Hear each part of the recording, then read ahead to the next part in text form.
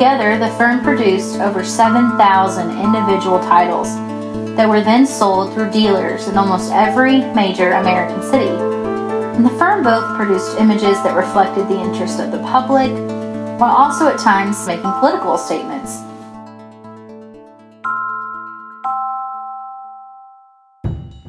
Welcome to Polks America. I'm Thomas Samuel. The 1800s were a transformative time in American art history. Technological changes enabled faster presses. The invention of photography allowed artists to capture images like never before. But arguably, one revolutionary change in the printmaking process shaped American visual arts more than anything the rise of lithography. In this episode, we welcome Tennessee State Museum curator Annabeth Hayes. Her presentation, Cheap and Popular Pictures Currier and Ives' depiction of 19th century America, introduces us to the largest lithography firm in the United States during the 1800s and explores the impact, for better or worse, that this prolific firm had on American popular culture. Here's Annabeth. Currier and Ives were the most prolific and arguably one of the most important lithography firms of the 19th century. Before the rise of photojournalism, many Americans relied on looking at hand colored lithographs and other prints to see the events that they read about in newspapers. The firm initially began with Nathaniel Currier, who established an independent business in 1834.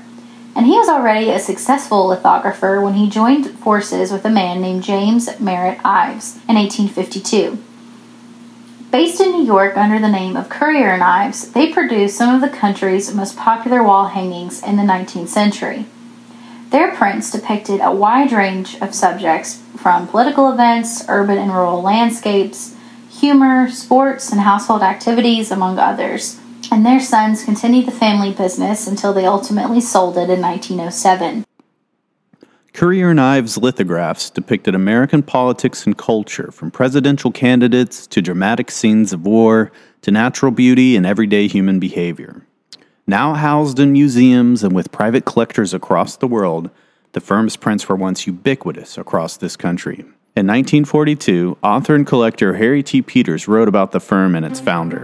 Nathaniel Currier's lifetime covered the conquest of the West, the harnessing of steam, the rise of industrialism, the Civil War and its aftermath of Reconstruction and unification, there were years that saw an uncertain young republic establish itself as a great power, the formative years of a great nation, years crowded with events that cried for accurate and graphic presentation to a public that was becoming increasingly alive to the tempo of the times.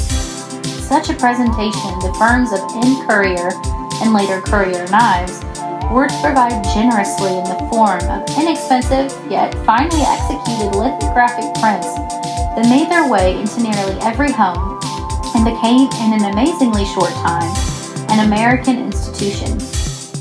Now, while Peters was writing under a lens of nostalgia and popular memory, there is no denying the impact that the firm of Currier and Ives had on a public who quickly devoured the visual imagery that finally accompanied news that could otherwise only be read about.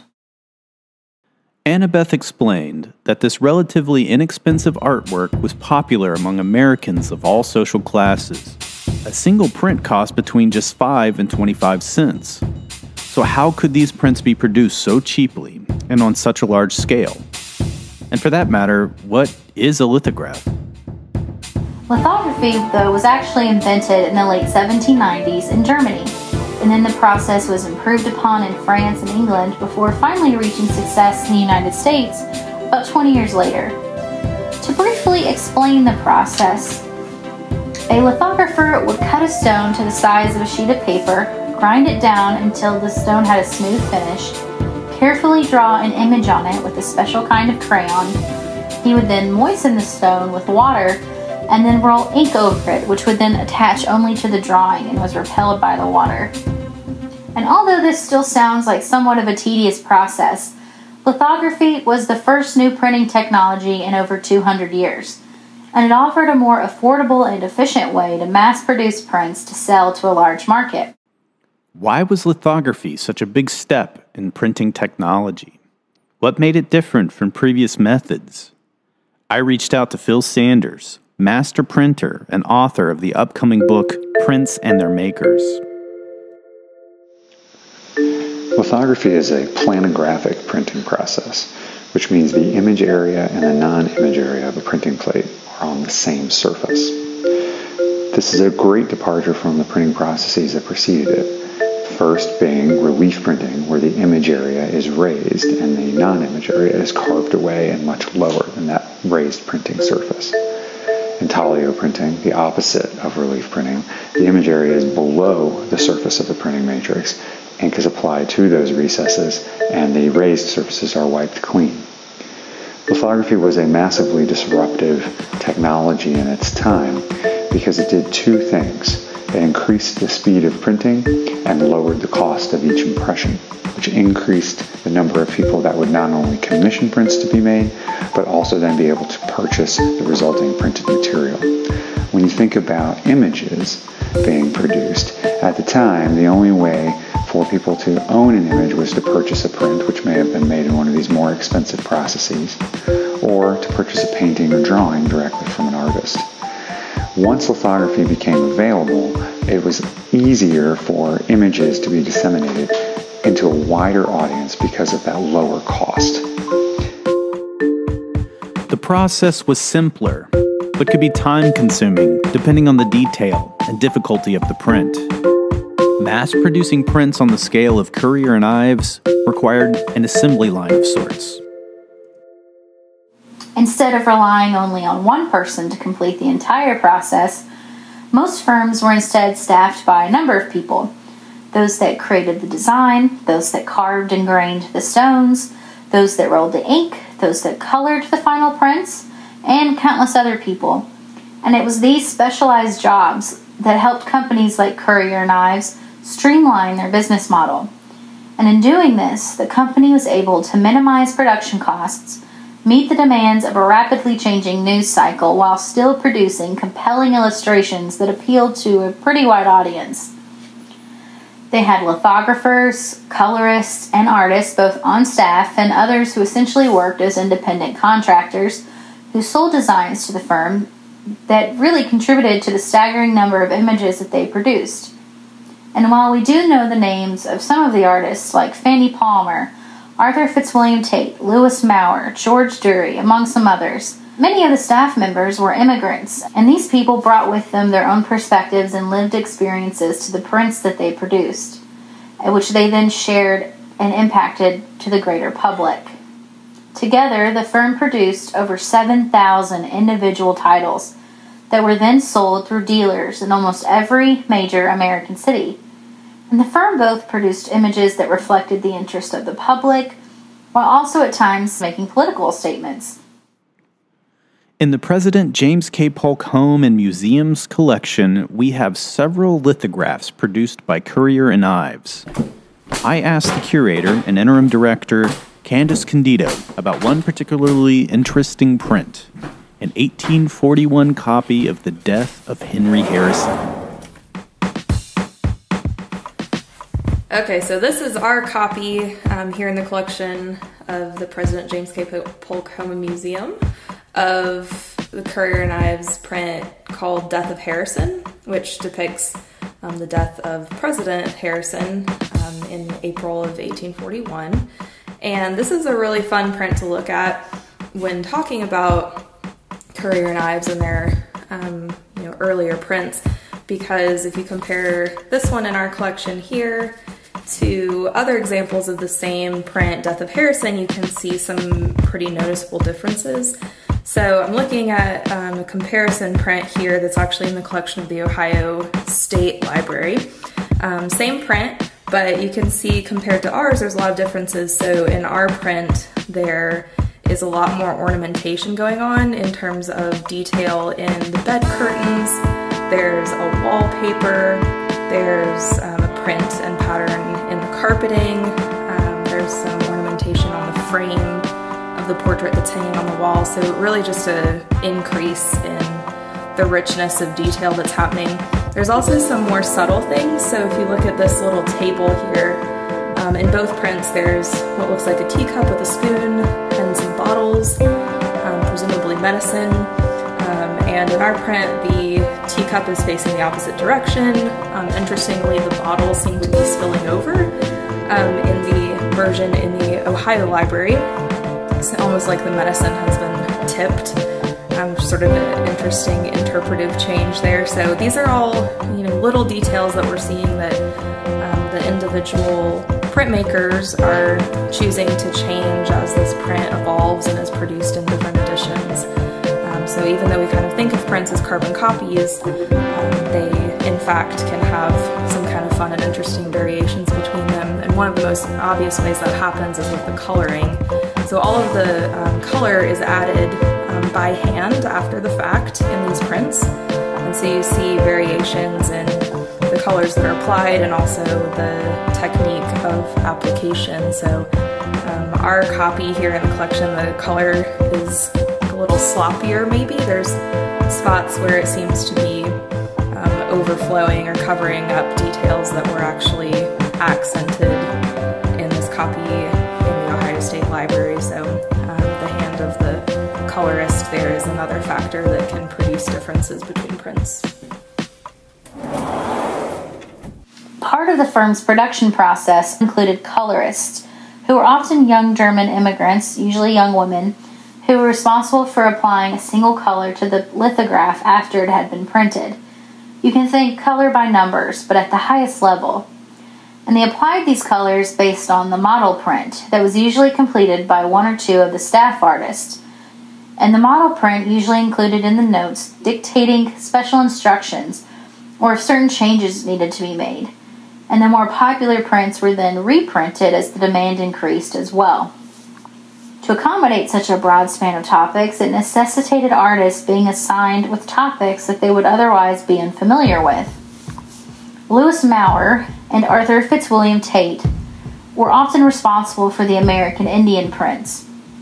In a later interview for Harry Peters' book, Maurer admitted that neither he nor uh, Tait had firsthand knowledge of the American Indians when they were working on these prints, and instead they researched them at libraries and based their own illustrations on other images, uh, which included the art by a man named George Catlin.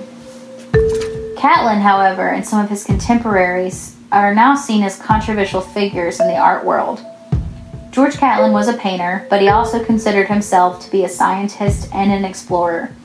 In the 1830s, as different American Indian groups were forcibly removed from their homes, ultimately leading to the culmination of the Trail of Tears, Catlin traveled and visited these tribes.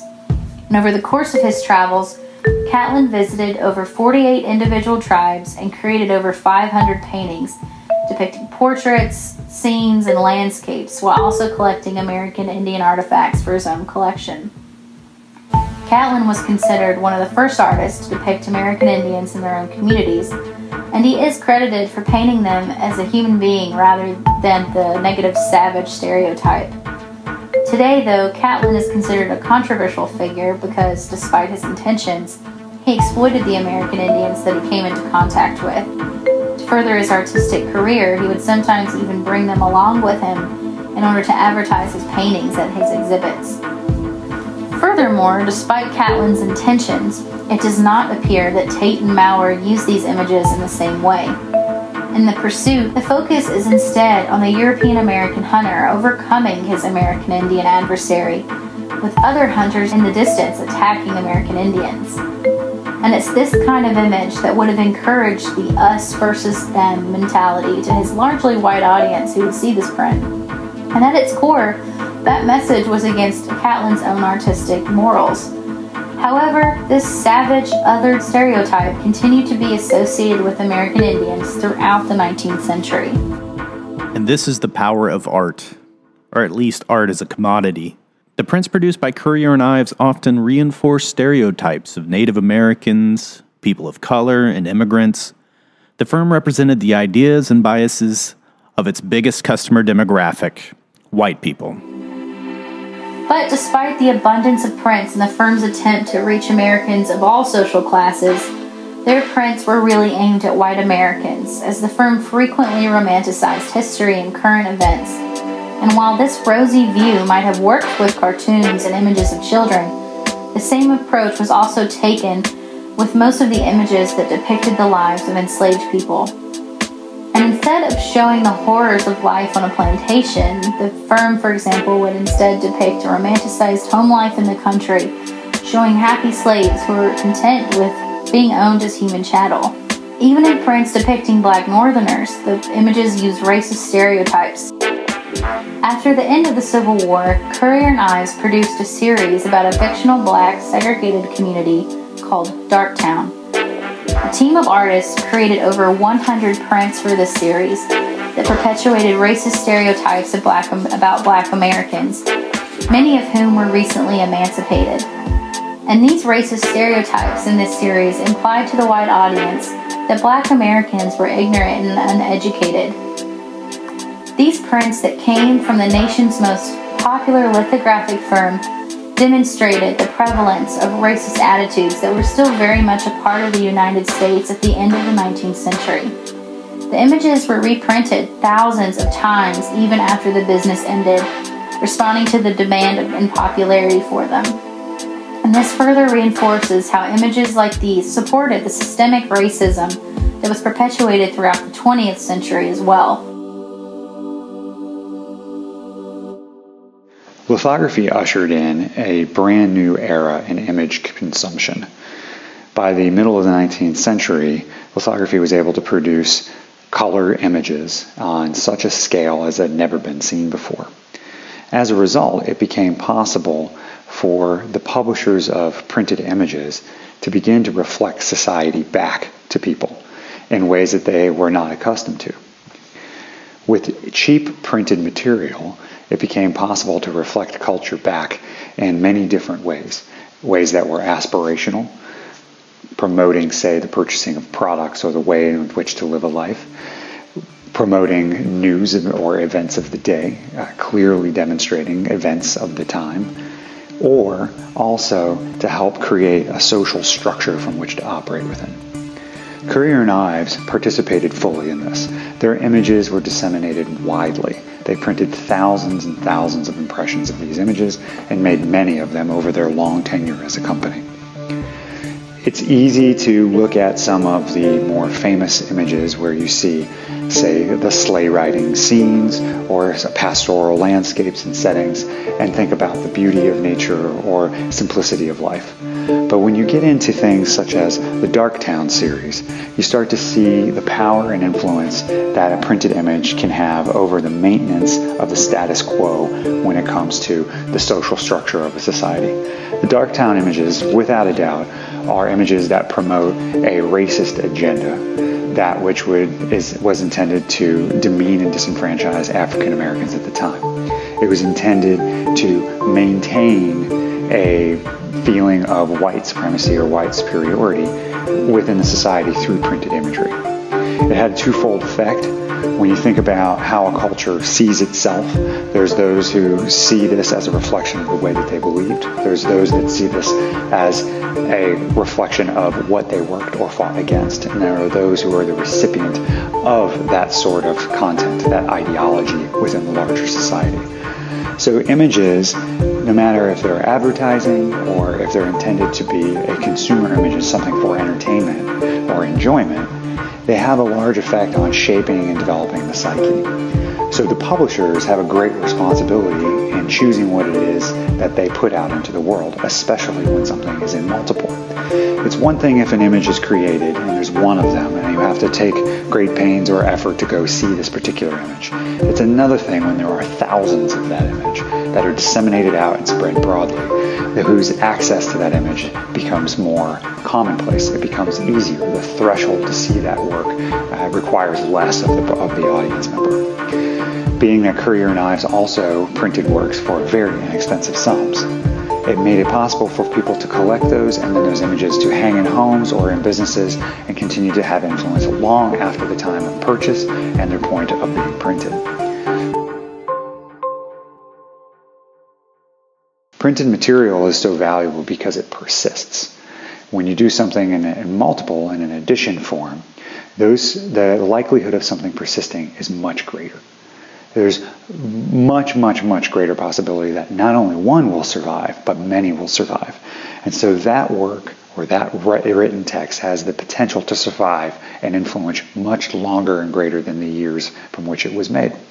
So when you think of the responsibility of a publisher, they have a duty in order to produce work that they believe uh, will influence society in a certain way.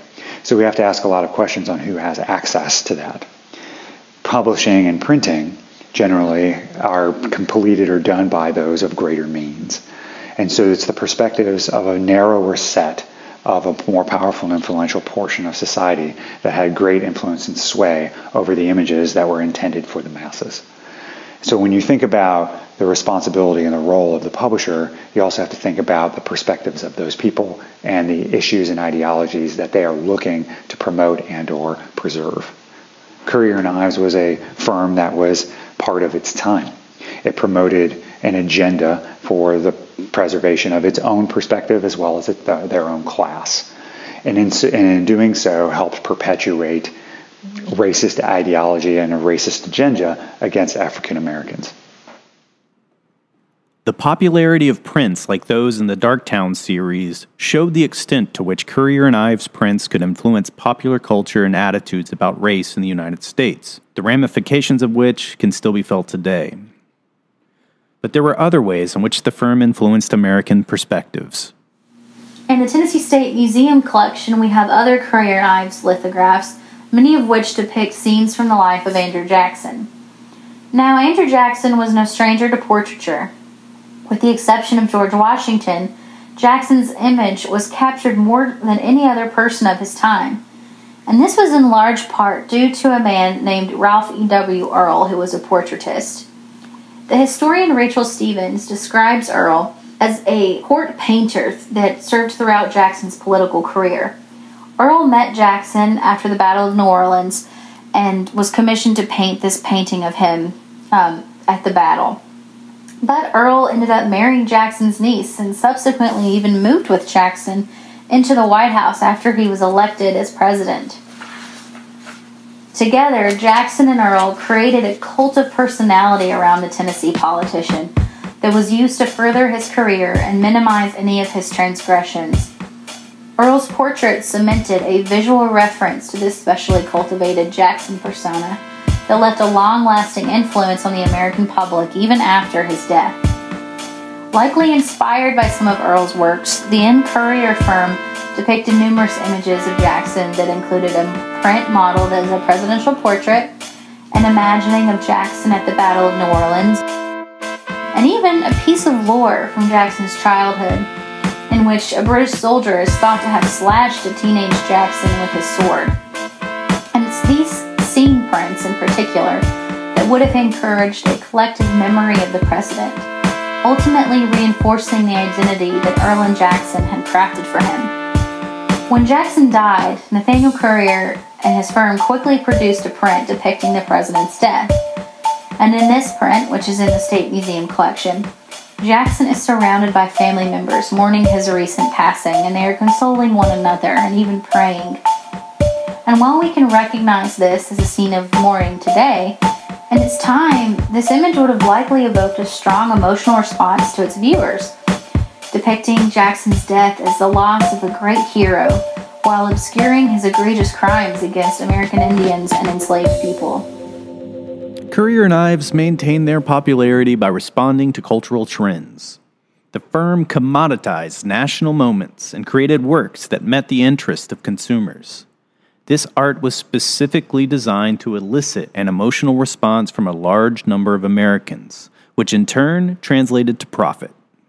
Mourning, however, was also a part of the culture of the 19th century, and it led to Americans using creative ways to process their grief. Many young women, in particular, created mourning watercolors, embroideries, hair jewelry, and other forms of memorials to their loved ones. Around 1846, a young woman named Sarah Caroline Gwynn from Sumner County, Tennessee, painted this watercolor of a young woman leaning against a large tombstone, and it appears she is crying.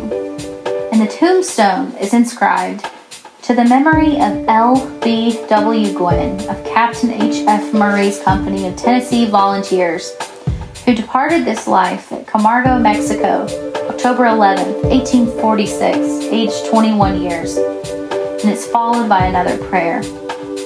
Young Sarah painted this watercolor in honor of her cousin, Littleberry Wright Gwynn. He was a soldier from Carroll County, Tennessee, who died during the Mexican American War. And the arrangement of this painting is similar to many other memorial arts of the time, in which a person, usually a young woman, is standing next to a tombstone in a cemetery, and it usually looks like she's being supported by the tombstone of her loved one. Currier and Ives artists used the same imagery for their memorial prints, which were likely commissioned. These kinds of prints were another way that the lithography firm responded to cultural trends. Master printer Phil Sanders. One of the great successes of Currier and Ives as a publishing house was their ability to create a reflection of life as it could be, a more idyllic version. Many people purchased prints and put them in their homes or their businesses and looked at them in an aspirational way, much as people purchase images and prints today, whether they be posters or photographs. The difference here was this was the first time that it was able to be possible for an average citizen to be able to purchase such an image. So the aspirational quality and aspects of what was happening with Currier and Ives' early work really was a foreshadowing of how advertising would come to create the consumer society as we understand the United States today. Without printmaking and without specifically lithography's ability to produce colorful, cheap, and expensive, widely distributable images, we would not have the society built as we do today around presentation of a world through this other format, through a visual way of seeing things outside of ourselves to allow us to aspire or project that upon ourselves. And when we extend that out to social responsibility and we think about the times that we're in today, printmaking in and of itself is so valuable, not just in producing, say, the ephemera of an ongoing protest movement or whether it be a political agenda that's to be promoted it's how all of that persists and lasts, and we have that record of this moment and of this time through the printed material that was used to create the changes that are occurring today. Printmaking is so valuable and that it allows the average person an ability to really speak about their time in a way that they can share it with others. Many will equate printmaking and social media um, as far as their effects in similar ways. But I draw a very distinct difference between the two. Social media lives in a digital realm that will exist in that realm for as long as that realm exists. And I often talk about the possibility of an information dark ages that we are potentially in today.